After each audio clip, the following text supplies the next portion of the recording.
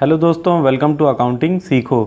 दोस्तों, आज की यह वीडियो भी हमारी बिज़नेस कम्युनिकेशन के बारे में ही है और इस वीडियो में हम समझेंगे इफ़ेक्टिव लिसनिंग के बारे में।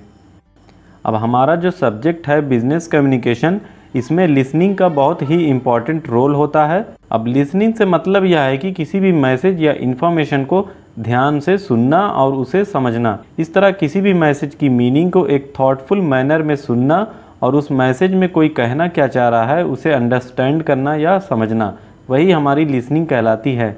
अब आइए यहाँ एक लिसनिंग की डिफिनीशन देखते हैं।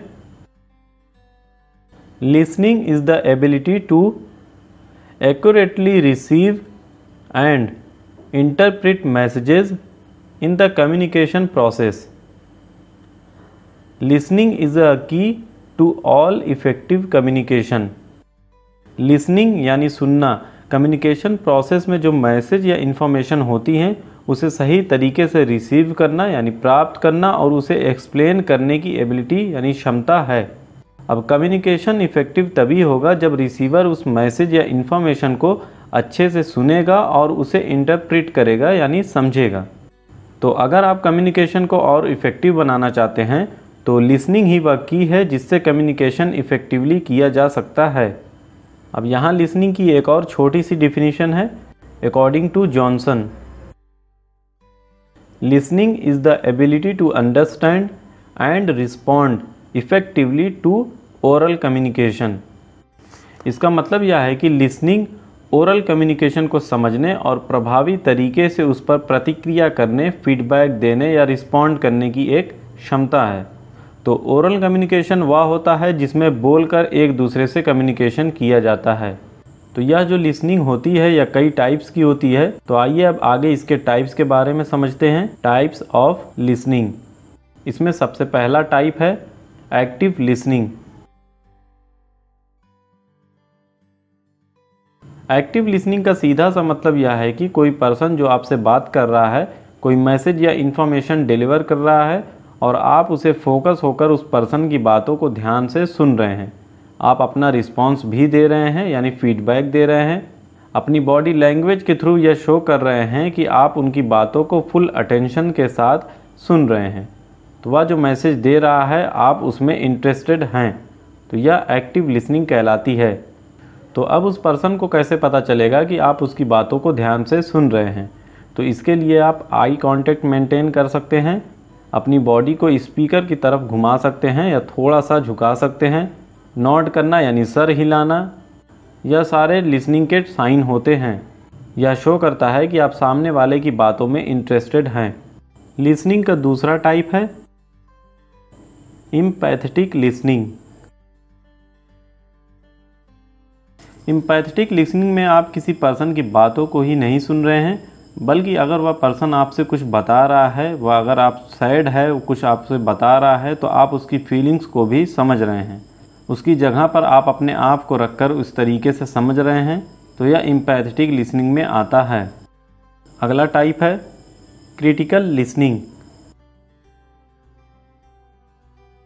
इसमें अगर आपको किसी ने कोई बात बताई है तो आप उसे सुने और समझ गए। अब उसे आप इवेल्यूएट कर रहे हैं कि वह जो बोला है वह सही है या फिर नहीं। उसके पॉजिटिव पॉइंट्स क्या क्या हैं, उसके नेगेटिव पॉइंट्स क्या हैं, इन सारी चीज़ों को जानने के बाद अपना ओपिनियन दे रहे हैं। तो इस तरह इसमें आप इंपॉर्टेंट नोट्स बना सकते हैं, कुछ की पॉइंट्स को लिख सकते हैं। नेक्स्ट है सेलेक्टिव लिसनिंग तो इसका मतलब यह है कि किसी भी मैसेज को पूरा और एज इट इज़ ना सुनना, उसमें सिलेक्शन करना। तो कोई पर्सन उस स्पीकर से वही सुनना चाहता है जो उसके काम की चीज़ है।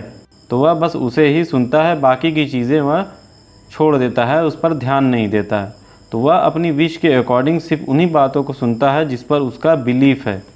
तो यह हमारी सिलेक्टिव लिसनिंग कहलाती है, यानी कि वही सुनना जो काम की चीज़ है, बाकी बातों को इग्नोर कर देना।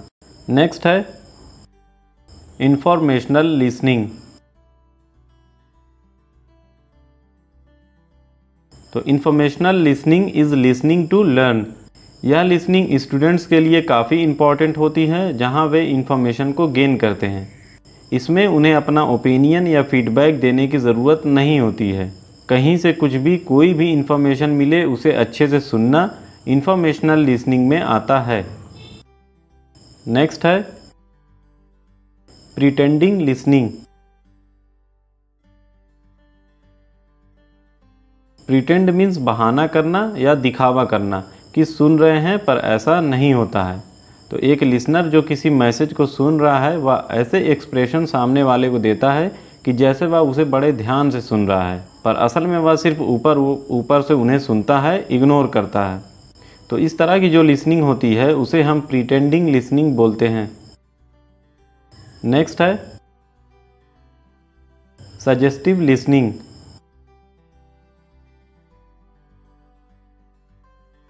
सजेस्ट मीन्स सुझाव देना, सजेस्ट करना। तो जो हमें सही लग रहा है, उसे बताना। तो इसमें कोई पर्सन अपनी प्रॉब्लम्स को किसी दूसरे पर्सन से डिस्कस करता है। अब वह दूसरा पर्सन जो है, वह सिंगल पर्सन हो सकता है या कई लोगों का ग्रुप भी हो सकता है। तो वह इसे ध्यान से उसकी प्रॉब्लम्स को सुनते हैं और उसके अकॉर्डिंग उसे सजेशन देते हैं, उनकी हेल्प करते हैं। तो इस तरह सजेस्टिव लिसनिंग को सपोर्टिव लिसनिंग भी कहा जाता है। लिसनिंग का नेक्स्ट और लास्ट टाइप है इंट्यूटिव लिसनिंग इंट्यूटिव लिसनिंग वह होती है जब कोई पर्सन किसी स्पीकर की बात को सुन रहा है और सेम टाइम पर उसके माइंड में भी अलग अलग बातें चल रही हैं। उसके अपने अलग अलग डायलॉग दिमाग में घूम रहे हैं, जिससे वह स्पीकर के मैसेज को सही से नहीं सुन पाता है। तो यही इंट्यूटिव लिसनिंग कहलाती है। तो इस तरह लिसनिंग के वक्त दिमाग इन सारे इंटरनल ख्यालों से फ्री होना चाहिए, तभी हम अच्छे से किसी को सुन पाएँगे। तो दोस्तों, यही सारे लिसनिंग के टाइप्स थे। इसके अलावा भी और होते हैं, पर यहाँ मैंने सिर्फ़ आठ को ही डिस्कस किया है। तो उम्मीद करता हूँ आपको इस वीडियो से कुछ समझ में आया होगा। अगर यह वीडियो आपको यूज़फुल लगी हो और आगे भी ऐसी ही वीडियोस देखना चाहते हैं तो मेरे इस चैनल को सब्सक्राइब करें। और बेल आइकन को भी ज़रूर ऑन रखें ताकि आगे की आने वाली नोटिफिकेशन आपको मिल सके। बिज़नेस कम्युनिकेशन की और वीडियोस देखने के लिए आप मेरे चैनल की प्लेलिस्ट में जा सकते हैं और शॉर्ट वीडियोस देखने के लिए आप इंस्टाग्राम पर भी फॉलो कर सकते हैं। Thank you